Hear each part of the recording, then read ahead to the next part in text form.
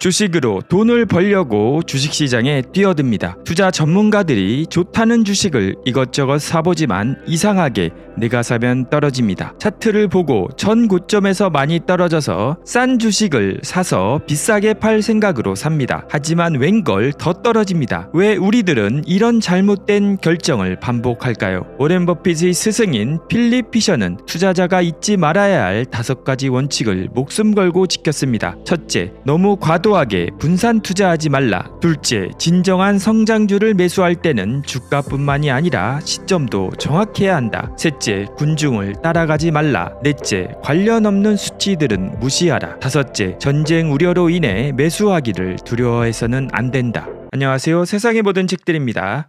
이번 시간에 리뷰할 책은 필립 비저의 위대한 기업에 투자하라입니다. 드디어 마지막 시간입니다. 투자 성공을 위해 꼭 알아야 할 내용입니다. 그럼 바로 다섯 가지 원칙에 대해서 살펴보겠습니다. 1. 너무 과도하게 분산 투자하지 말라. 분산 투자만큼 모두가 수긍하며 널리 받아들이는 투자 원칙도 없을 것이다. 갖고 있는 계란을 전부 한 바구니에 담은 투자자에게 벌어질 수 있는 끔찍한 일은 늘 너무나도 섬뜩하게 다가왔다. 그러나 또 한편의 극단에 있는 이 원칙의 부정적인 측면에 대해 충분히 생각하는 사람은 거의 없다.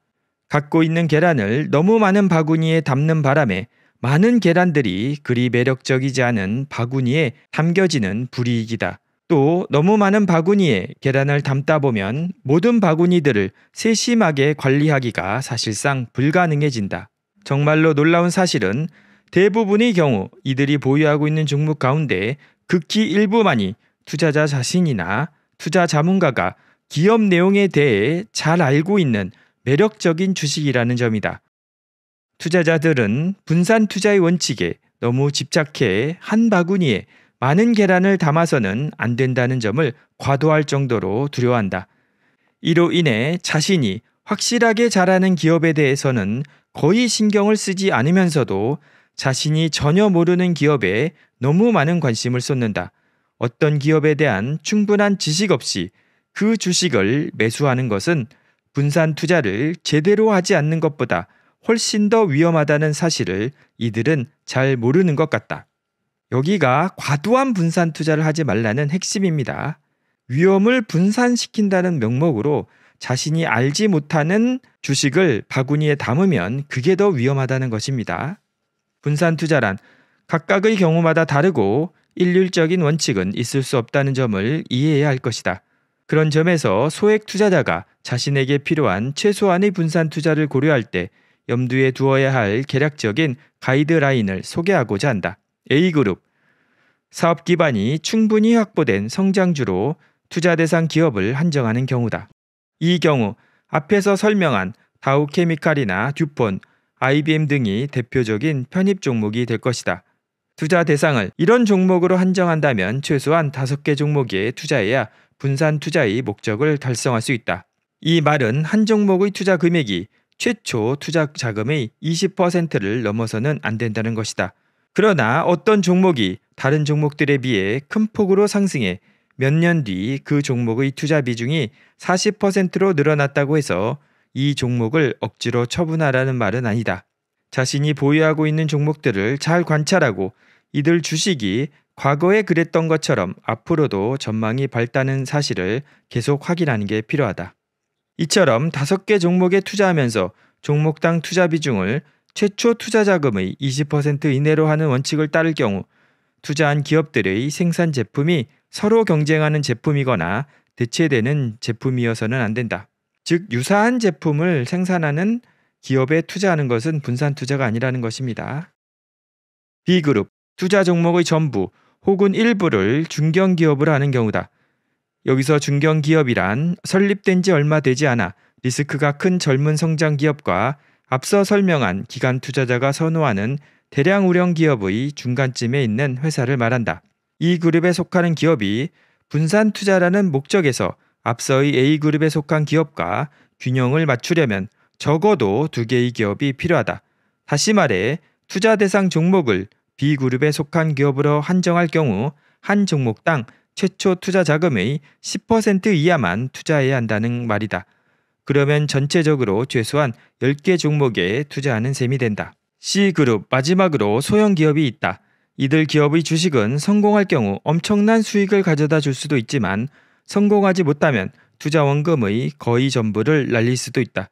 이런 주식에 투자하는 금액은 투자자별로 자신의 목표와 자신의 처해 있는 상황에 따라 다양하게 정할 수 있다는 점을 나는 앞서 설명했다. 그러나 이런 주식에 투자할 경우 지켜야 할 두 가지 원칙이 있다. 하나는 절대로 날려서는 안 될 자금을 이런 주식에 투자해서는 안 된다는 것이다. 또 하나는 대규모 자금을 운용하는 투자자의 경우에도 이런 주식에는 종목별로 최초 투자 자금이 5% 이상을 투자해서는 안 된다는 것이다.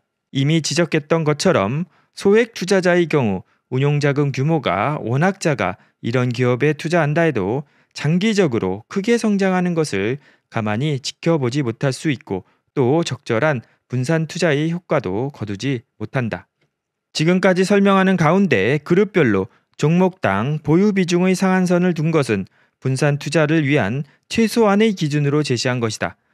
이 같은 상한선을 높이게 되면 마치 제한 속도 이상으로 자동차를 모는 것과 비슷하다. 이렇게 차를 몰면 그렇게 하지 않을 때보다 목적지에 좀 더 빨리 도착할 수 있을 것이다. 그러나 속도가 높아진 만큼 운전자는 더 긴장하고 경계심을 늦추지 않아야 한다. 이 점을 명심하지 않으면 목적지에 더 빨리 도달할 수 없을 뿐만 아니라 자칫 영원히 그곳에 가지 못할 수도 있다. 실제로 투자자들이 어려워하는 것은 정말로 뛰어난 투자 대상을 찾아내는 것이다. 수많은 뛰어난 주식 가운데 몇 개를 고르는 게 아니다.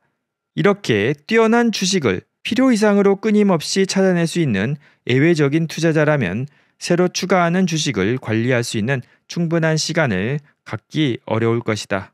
어떤 투자자의 보유 종목 수가 너무 많다는 것은 그 투자자가 주도 면밀하다는 말이 아니라 자신에게 확신을 갖지 못하고 있다는 말이다.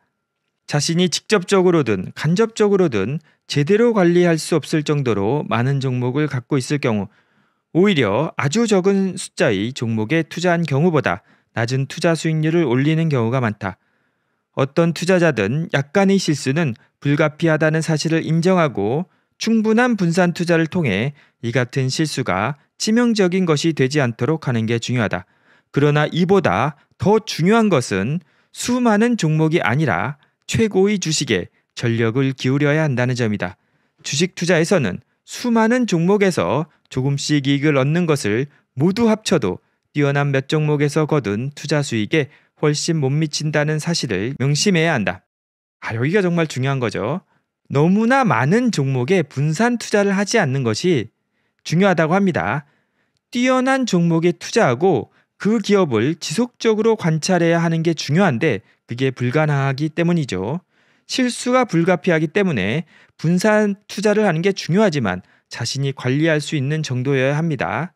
하지만 이것에 앞서 중요한 것은 최고의 주식을 사는 것입니다.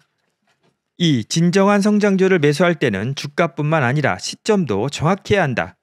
주변에서 자주 발견할 수 있는 투자 사례를 한 가지 소개하겠다. 어떤 기업을 내용을 살펴보니 우리의 15가지 포인트에 따라 설정한 기준에 훌륭할 정도로 부합했다. 제가 15가지 포인트를 설명한 영상을 오른쪽 상단에 태그를 해놓을 테니까 관심 있으신 분들은 보시기 바랍니다. 더구나 1년쯤 뒤에는 매우 중요한 의미를 지닌 순이익 증가가 예상되고 있는데 증권가에서는 새로운 순이익이 창출되는 요인에 대해 아직 충분히 인식하지 못하고 있다. 더더욱 중요한 사실은 이 같은 요인 덕분에 적어도 향후 몇 년 동안 순이익이 급증할 것이 확실하다는 점이다. 정상적인 상황에서라면 이런 주식은 당연히 매수해야 할 투자 대상이다. 그러나 잠시 한번 더 생각해 봐야 할 측면이 있다. 실은 최근 몇 년 동안 다른 벤처 기업들이 잇따라 성공하면서 이 기업 역시 주목받게 된 것인데 만약 이런 새로운 분위기나 영향이 아니었다면 이 기업의 주가는 지금처럼 32달러가 아니라 적정 가치인 20달러 언저리에 머무르고 있을 것이다.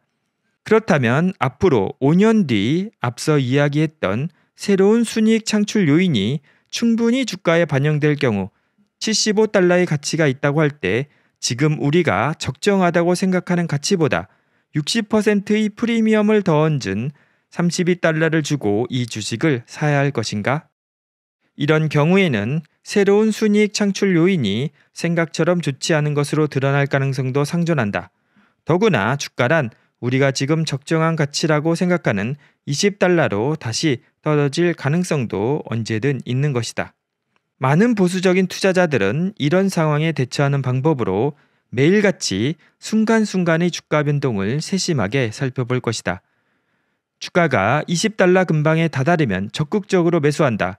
그렇지 않으면 일단 주가 움직임을 지켜본다. 이렇게 주가를 면밀히 살펴보는 방법이 꽤 괜찮은 투자 수익을 올려주는 경우도 종종 있다. 그렇다면 20달러에 매수하면 걱정할 게 없다는 말인가? 그렇다. 걱정할 게 없다. 우리는 여기서 미래 가치에 영향을 미치는 중요한 요소로 우리가 알고 있는 것만을 상정했기 때문이다. 즉 5년 뒤 이 주식이 75달러로 오를 만한 충분한 요인이 있지만 다른 대부분의 사람들은 모른다고 가정했다. 이제 정말로 중요한 것은 어느 정도 낮은 수준의 주가로 매수할 수 있느냐 하는 것이다. 우리가 염려하는 것은 만약 이 주식을 32달러에 매수했는데 곧 이어 20달러 정도로 떨어져 버리지 않을까 하는 점이다. 이것은 단순히 일시적인 손실에 그치지 않는다.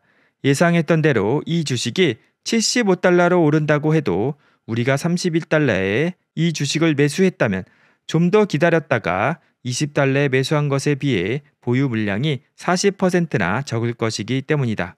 만약 20년쯤 후에 앞서 분위기를 띄웠던 것 같은 유사한 벤처 기업들이 더 많이 나타나 이 주식도 75달러가 아니라 200달러 수준까지 오른다면 최초 투자 자금으로 매수한 보유 주식의 수량이 얼마나 중요한 것인지 뼈저리게 느낄 것이다.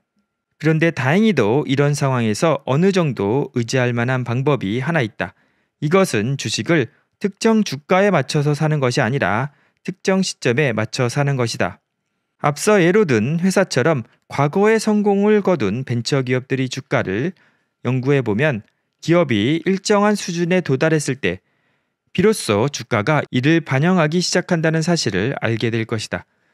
그 시기를 기업별로 평균치를 내서 계산해 보니 시험 생산 공장을 가동하기 1개월 전이었다라고 하자. 그런데 지금 우리가 예로 든 기업의 주가가 32달러 수준이라고 하자. 그리고 이 기업의 시험 생산 공장이 6개월 후에 가동을 시작할 예정이라면 지금으로부터 5개월 뒤에 이 주식을 매수하는 방식이다. 물론 이 주식을 매수한 뒤 주가가 더 떨어질 수 있다. 그러나 만약 이 주식을 20달러에 매수했다고 하면 추가로 더 떨어질 가능성은 없다. 우리가 당초 설정한 가정에 따라 최대한 낮은 주가로 이 주식을 매수했다면 비록 일반적으로 알려진 요인에 따라 판단할 경우 추가로 하락할 수 있다 하더라도 어쨌든 목적은 달성한 것이 아닌가. 이런 상황이라면 특정 주가에 맞춰서 주식을 매수하는 것보다 특정 시점에 맞춰 매수하는 것이 더 안전할지 모른다. 기본적으로 이런 접근 방식은 가치라고 하는 개념을 전혀 훼손시키지 않는다. 단지 그렇게 보일 뿐이다. 만약 미래에 이 주식의 가치가 크게 상승할 가능성이 없다면 특정 주가가 아니라 미래의 특정 시점에 맞춰서 주식을 매수하는 방식은 내 몇몇 친구들이 말처럼 비논리적일 것이다. 하지만 이런 가치 상승이 나타날 가능성이 매우 크다면 얼마에 이 주식을 사느냐 보다는 언제 이 주식을 사느냐 하는 게 더 중요할 수 있다. 그래야만 앞으로 극적인 성장세를 이어갈 성장수를 최대한 낮은 주가 수준에 매수할 수 있을 것이기 때문이다. 즉, 여기를 간단히 요약해 보자면요. 향후 몇 년간 순이익이 급증할 것으로 예측되는 종목이 우리가 생각하는 적정 가치보다 60% 프리미엄이 부여되면 즉 약간 고평가된 상태에서 거래가 되면 매수해야 되느냐에 대해서 이야기를 하고 있거든요. 이런 경우에는 첫째는 기다리다가 적정 가치 근방에서 적극적으로 매수하는 게 한 가지 방법일 수 있고요. 두 번째는 저자가 제안한 방법인데 어떤 기업을 관찰했더니 특정 시점 이후에 주가가 이를 반영하는 경향이 있다는 것을 발견했다고 합니다. 그러면은 그 특정 시점에서 가격에 상관없이 그 주식을 사는 것입니다. 예를 들자면 신규 모델을 출시 후 1개월 후에 그 신규 모델 출시 효과가 주가에 반영돼서 항상 오르는 경향이 있다면 주가에 상관없이 가치가 상승할 가능성이 가장 큰 지점에 그냥 사면 된다는 것입니다. 이것을 판단하는 게 쉽지는 않겠지만 이렇게 하는 것도 한 방법이 될 것 같습니다. 그리고 성장주를 매수할 때도 가장 좋은 것은 쌀 때 사는 게 중요한 것 같습니다. 그래야 더 많은 수량을 모을 수 있고 그 모은 수량이 10년, 20년 후에는 정말 막대한 영향을 미치기 때문입니다. 세 번째는 군중을 따라가지 말라입니다. 제가 계속 구독을 누르지 않고 보시는 분들에게 구독과 좋아요를 요청하고 있습니다. 부탁드립니다. 저에게 큰 힘이 됩니다. 저도 구독과 좋아요의 힘을 받아서 열심히 14만을 달성하기 위해 노력하겠습니다. 3. 군중을 따라가지 말라. 금융시장에서 상당한 경험을 쌓은 경우가 아니면 이해하기 어려울 때가 많은 매우 중요한 투자 개념이 한 가지 있다. 주가의 등락에 영향을 미치는 여러 가지 다양한 요인들에 대해서는 이 책의 여러 군데에서 언급했다. 순이익의 증감, 경영진의 변화, 새로운 발명품의 도입이나 획기적인 발견, 금리 변경과 세법의 개정 등 이런 것들은 어떤 기업의 주가를 움직이는 몇 가지 요인에 불과할 것이다. 그런데 이와는 전혀 다른 방식으로 주가에 영향을 미치는 요인이 있다. 이것은 순전히 심리적인 변화다. 눈에 보이는 세상 혹은 경제 상황은 전혀 변하지 않았다. 그런데 금융시장의 대다수 사람들이 앞서와 똑같은 상황을 이전과는 전혀 다른 시각으로 바라보는 것이다. 이처럼 기본적인 사실들을 평가하는 방식이 달라진 결과 같은 주식에 대해 그들이 지불하고자 하는 주가나 주가 수익 비율의 산정도 달라지게 되는 것이다. 주가 수익 비율은 ፐ입니다. 여성복을 보면 그렇듯이 주식 시장에도 유행과 스타일이 있다. 이런 유행과 스타일이 길게는 몇 년에 걸쳐 실제 가치와 주가의 관계를 엇갈리게 만든다. 단지 이 같은 심리적 변화 덕분에 많은 종목들이 주가가 두 배 이상 오를 수도 있고 펀더멘탈의 진정한 가치를 재평가받은 기업들은 단순히 주가가 두 배로 오르는 것 이상의 이익을 볼 수도 있다고 합니다. 이런 식으로 지난 20년간 처음에는 증권가의 시각이 이랬다가 곧이어 시각이 정반대로 바뀌면서 주가도 함께 변했던 사례는 거의 모든 산업에서 발견할 수 있다. 너무나 자주 이런 일이 발생하죠. 지금까지 설명한 기계 장비 제조주의 사례를 살펴보면 투자자가 가장 유리한 입장에서 주식을 매수하려면 어떻게 해야 하는가를 분명하게 할수 있다. 우선 투자자는 매수하고자 하는 주식은 물론 그 기업이 속해 있는 업종에 대해 증권가에서 현재 어떻게 평가하고 있는지를 사실적으로 또 분석적으로 짚어봐야 한다. 어떤 업종이나 기업과 관련해 증권가에 널리 퍼져 있는 분위기와 바라보는 시각이 확실하게 드러난 사실보다도 매우 부정적으로 치우쳐졌다는 것을 발견했다면 군중을 따르지 않음으로써 추가적인 이익을 거둘 수 있다. 또 현재 증권가에서 가장 주목하고 있는 기업이나 업종의 주식을 매수할 경우에는 자신이 매수하려는 이유가 충분히 사실에 근거한 것인지 또 분위기에 휩싸여 너무 높은 가격을 지불하는 것은 아닌지 다시 한번 주의 깊게 돌아봐야 한다. 기본적인 사실마저 너무 긍정적으로 해석하는 것이야말로 일시적인 유행에 따라 투자하는 것이기 때문이다. 여기가 너무 중요한 것 같습니다. 펀더멘탈은 좋은데 증권가나 사람들이 그 기업을 너무나 비관적으로 봐서 주가가 하락할 때 사는 게 중요하고요. 펀더멘탈이 좋기는 하지만 너무나 증권가나 사람들이 거기에 열광을 해서 사실보다도 너무나 주가가 높아졌다면 그때는 그 주식을 따라 사면 안 된다는 것입니다. 더욱 빨라지고 있는 현대적인 기술의 발전 속도 덕분에 현명한 투자자가 스스로 군중들과는 독립적 생각을 하고 있으며 증권가의 대다수 의견이 한쪽으로 치우쳤을 때 다른 방향에서 올바른 답을 찾을 수 있다고 생각한다면 충분히 이익을 얻을 수 있는 기회가 있다. 현명한 투자자라면 시장의 관심이 쏟아지고 있는 기업에 투자하려고 할 때 펀더멘탈에 기초한 흐름이 어디까지 이어질 것인지 혹시 한순간의 유행은 아닌지 분명하게 따져봐야 한다. 투자의 세계에서 일시적인 유행이나 사실에 대한 잘못된 해석은 몇 달, 심지어 몇 년씩 이어질 수 있다. 그러나 장기적으로 실상이 드러나게 되면 환상이 깨지는데 그치는 것이 아니라 환상에 사로잡혔던 주식이 반대 방향의 극단으로 치닫는 경우를 종종 발견할 수 있다. 대다수 군중들의 의견을 꿰뚫어 보고 현재의 진실이 무엇인지를 찾아낼 수 있는 능력을 갖추고 있다면 주식 투자 분야에서 엄청난 성과를 얻을 수 있을 것이다. 그러나 말처럼 쉽지는 않다. 진짜 큰 수익을 내는 핵심은 바로 이 대목인 것 같습니다. 네 번째, 관련 없는 통계 수치들을 무시하라. 각종 통계 수치들 가운데는 정말로 너무나 피상적인 내용임에도 불구하고 많은 투자자들이 과도할 정도로 관심을 기울이는 것들이 있다. 현재의 주가와 아무런 관련도 없는 것은 아니지만 거의 관계없는 것들이기 때문이다. 이런 통계 수치들 가운데 가장 대표적인 것이 과거의 주가 범위를 기록한 도표다.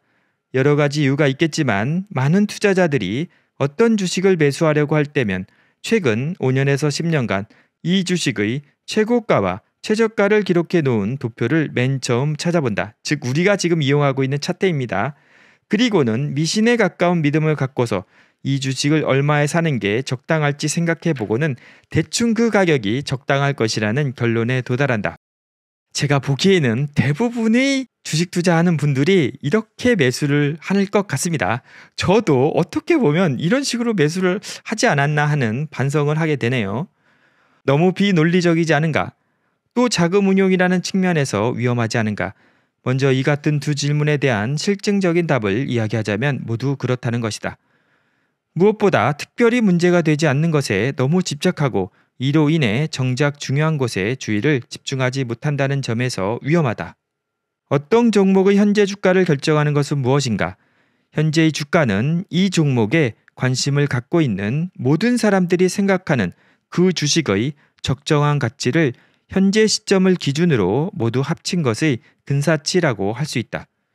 즉, 이 주식에 대한 잠재적인 매수자와 매도자의 전망이 전부 합산된 것이다. 매수자와 매도자의 전망은 이들이 매매하고자 하는 물량에 따라 가중평균 될 것이며 이들 각자 갖고 있는 다른 기업에 대한 현재 시점의 전망에 따라 조정될 것이다. 때로는 그 시점의 유동성 같은 요인들이 현재 주가에 영향을 미칠 수 있다. 정말로 중요한 점은 주가란 어떤 상황에 대한 현재의 평가에 따라 결정된다는 것이다. 어떤 기업의 상황이 변했다는 사실이 알려지게 되면 이런 평가도 긍정적으로 혹은 부정적으로 영향을 받게 마련이다. 다른 주식들과의 비교도 달라질 것이고 따라서 주가는 올라가거나 내려갈 것이다. 따라서 어떤 기업의 주가가 4년 전에 얼마였는가는 오늘의 주가와 거의 아무런 관계도 갖지 않을 것이다. 그 기업은 그 사이 능력 있는 최고 경영진을 새로이 구했을 수도 있고 수익성이 뛰어난 신제품들을 잇따라 출시했거나 기업의 내재 가치를 4년 전에 비해 4배 이상 늘려준 수많은 성과들을 내놓았을 수 있다. 반대로 비효율적인 경영진이 기업을 장악하는 바람에 경쟁 업체에 비해 크게 뒤지게 됐고 주식을 추가로 발행해 새로운 자본을 끌어들이는 게 이 기업이 회생할 수 있는 유일한 방법일 수도 있다. 이런 상황에서는 주식의 가치가 희석될 수밖에 없고 그런 점에서 오늘의 주가는 4년 전의 주가에 비해 4분의 1에도 못 미칠 수 있다. 즉, 과거의 주가보다 현재의 주가가 뭐 70% 80%가 떨어졌다고 해도 그 떨어진 가격이 싼 가격이 아닐 수 있다는 것입니다. 그래서 단지 주가만을 비교해서 매수를 하면 절대 안 된다는 것입니다. 지금까지 설명한 이런 사실에도 불구하고 많은 투자자들은 장래에 엄청난 투자 수익을 가져다 줄 주식을 내다 팔고 이익이 생겨봐야 아주 작을 주식을 매수한다. 아직 오르지 않은 주식에 너무 관심을 집중하다 보니 자신도 모르게 모든 주식이 같은 비율만큼 올라야 한다는 착각에 빠져드는 것이다. 그래서 이미 많이 상승한 종목은 더 이상 오르지 않을 것이며 아직 오르지 않은 종목은 당연히 상승할 것이라고 믿게 된다. 이것은 진실과 거리가 멀어도 한참 먼 것이다. 어떤 주식이 지난 몇 년간 올랐다거나 오르지 않았다는 사실은 현재의 주가 수준을 결정하는 데 전혀 중요하지 않다. 정말로 중요한 것은 지금 시장이 결정한 주가 수준보다 주가를 결정적으로 더 높여줄 수 있는 충분한 개선이 일어나고 있으며 혹은 일어날 가능성이 있는가 하는 점이다. 이와 유사한 오류는 또 있다. 많은 투자자들은 현재의 주가 수준이 어느 정도여야 하는지를 판단하면서 지난 5년간의 주가 수익 비율에 너무 큰 비중을 두는 것과 같다. 4, 5년 전의 주가 수익 비율이 몇 배였건 그것을 안다고 해서 어떤 주식의 현재 주가 수준을 가늠하는 데 도움이 되는 것은 아니다. 다시 말하지만 정말로 중요한 것은 현재 그 회사가 놓여 있는 상황을 정확하게 파악하는 것이다. 앞으로 몇 년 동안 어떤 일이 벌어질지를 이해하는 것이 훨씬 더 중요하다는 말이다. 즉, 과거의 주가 수준이나 과거의 퍼 값이 중요한 게 아니라 앞으로 이 회사가 어떻게 이익을 낼지 그리고 어떤 상황에 처해질지를 생각하는 게 중요하다는 것입니다. 투자자들은 어떤 기업의 지난 5년간 주가와 순이익 등을 기초로 분석한 수많은 보고서들을 끊임없이 접하게 된다. 그러나 명심해야 할 사항은 자신에게 지금 중요한 것은 과거 5년간의 순이익이 아니라 향후 5년간의 순이익이라는 점이다. 그래서 이 위에는 여러 가지 기업의 사례가 나오는데요. 이런 사례를 살펴보면 과거의 주가 수준과 주가 수익 비율 같은 전혀 관련 없는 통계 수치에 집착하는 투자자들이 왜 그렇게 하는지 또 다른 단서를 알려준다. 지난 수년 동안 벌어졌던 일들이 앞으로도 계속해서 반복될 것이라는 믿음 때문이다. 다시 말하자면 이런 투자자들은 어떤 주식의 주가 수익 비율과 주가가 지난 5년간 혹은 10년간 높아져 왔음을 찾아낼 것이다. 그리고는 거의 틀림없이 이런 추세가 무한정 지속될 것이라고 단정 지을 것이다. 물론 그렇게 될 수도 있다. 그러나 이런 성장을 뒷받침할 만한 연구개발 성과가 제때에 나오지 않을 수도 있고 신제품 출시로 인한 원가 부담이 너무 클 수도 있다. 이런 시각에서 보자면 제 아무리 뛰어난 성장 기업이라 해도 한두 해 정도는 순이익 증가율이 크게 떨어질 수 있다. 이런 일이 벌어지면 주가도 역시 급락할 수 있다. 따라서 미래의 순이익을 결정할 여러 조건들을 자세히 따져보지 않고 과거의 순이익 수치 따위에 너무 집착하는 것은 자칫 매우 큰 손실을 초래할 수 있다. 그러면 주식을 매수할 것인지 여부를 결정할 때 과거의 순이익이나 주가는 완전히 무시해야만 한다는 말인가? 그렇지 않다. 다만 이 같은 통계 수치를 과다할 정도로 중시할 경우 매우 위험해질 수 있다는 것이다. 이런 통계 수치는 주식이 얼마나 매력적인가를 결정하는데 주된 요인으로서가 아니라 특별한 목적을 위해 보조적인 수단으로만 활용할 때 도움을 줄 수 있다. 가령 어떤 주식의 과거 주가 수익 비율을 살펴보면 이 종목이 경기에 얼마나 민감한지 알아낼 수 있고 이 기업의 순이익이 다양한 경기 변동 국면에서 어떻게 변화할지 윤곽을 잡을 수 있다. 더욱 중요한 것은 과거의 주가 수준과 주당 순이익을 비교해 봄으로써 과거의 주가 수익 비율이 실제로 어느 정도였는지를 정확하게 판단할 수 있다는 점이다. 이것은 미래의 주가 수익 비율을 예상하는데 출발점이 될 수 있다. 그러나 다시 한번 강조하지만 현재의 주가를 결정하는 것은 과거의 주가 수익 비율이 아니라 미래의 주가 수익 비율이라는 점을 명심해야 한다. 가령 어떤 주식이 지난 몇 년 동안 8배 주가 수익비율로 거래됐다고 하자. 그러나 지금은 경영진이 바뀌고 연구개발 부서가 확실하게 자리 잡는 등 회사의 기본적인 상황이 변해 8배가 아니라 15배의 주가 수익 비율로 거래될 수 있다. 그런데도 미래의 순이익을 추정하고서 여기에 15배가 아닌 8배의 주가 수익 비율을 곱해 이 주식의 적정 주가를 계산해낸 투자자라면 과거의 통계 수치에 너무 집착하는 경우라고 말할 수 있다. 나는 이 같은 오류를 설명하면서 관련 없는 통계 수치들은 무시하라라고 이름을 붙였다. 이 말은 중요하지 않은 것들에 현혹되지 말라는 뜻으로 해석할 수 있을 것이다. 과거의 순이익 수치들, 특히 지난 몇 년 동안의 주당 순이익 범위 같은 통계 수치는 현재 주가를 결정하는데 아무런 관련도 없는 경우가 훨씬 많다. 여기도 너무나 중요한 이야기입니다. 우리가 주식을 매수할 때 과거의 뭐 순이익이나 매출액 증가율 등을 보고 그것이 앞으로 이어질까는 가정하에 주식을 매수하는 경우가 많이 있잖아요. 하지만 그것보다는 앞으로의 순이익과 매출액이 어떻게 될지를 예상을 하고 매수를 하는 것이 가장 중요하다고 합니다. 그래서 주식 투자를 하려면 자신이 스스로 상상력을 발휘해서 독자적인 사고를 하고 추론을 하는 게 정말 핵심인 것 같습니다. 그리고 마지막으로 다섯 번째, 전쟁 우려로 인해 매수하기를 두려워해서는 안 된다. 주식이란 인간의 상상력에 따라 움직이는 경우가 많다. 전쟁에 대한 공포는 우리 상상력을 뒤흔들어 버린다. 국제적인 긴장이 고조돼 전쟁에 대한 두려움이 증폭되거나 실제로 전쟁이 벌어지게 되면 주식시장 역시 이를 그대로 반영한다. 이것은 금융 논리만으로는 설명할 수 없는 심리적인 현상이다. 그래서 전쟁이 많이 일어났는데 전쟁이 일어난 후에는 항상 주식이 급 반등했다고 합니다. 그런데 그런 이유는 전쟁이 나면 회복하기 위해서 국가에서 돈을 많이 풀기 때문에 통합 팽창이 있기 때문에 주가가 상승한다고 합니다. 그래서 어떤 투자자가 특정 종목의 주식을 매수하기로 마음먹었는데 갑자기 전쟁 위기감이 고조되면서 주가가 급락했다고 하면 이 투자자는 순간적인 심리적 두려움을 무시하고 당초에 결심한 종목의 매수에 착수해야 한다고 합니다. 이 시점은 여유 자금을 현금으로 보유하는 것이 가장 좋을 때가 아니라 가장 나쁠 때입니다. 그런데 매수 시점은 하락 요인이 전쟁 발발이 아니라 전쟁에 대한 우려 때문이라면 주식을 매수하되 천천히 그리고 전쟁에 대한 공포를 확인해 가면서 분할 매수해야 한다고 하고요. 실제로 전쟁이 터지게 되면 매수 속도를 급격히 당겨야 한다고 합니다.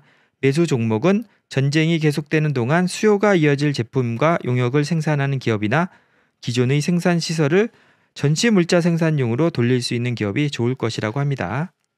전쟁이 터지거나 전쟁 우려가 고조됐을 때 주식을 사야 하는 이유는 전쟁 그 자체가 주주들에게 이익이 되어서가 아니라 그것은 화폐 가치가 떨어지고 그로 인해 화폐 단위로 표시되는 주가는 당연히 오를 것이기 때문이라고 합니다. 즉 핵심은 통화량입니다.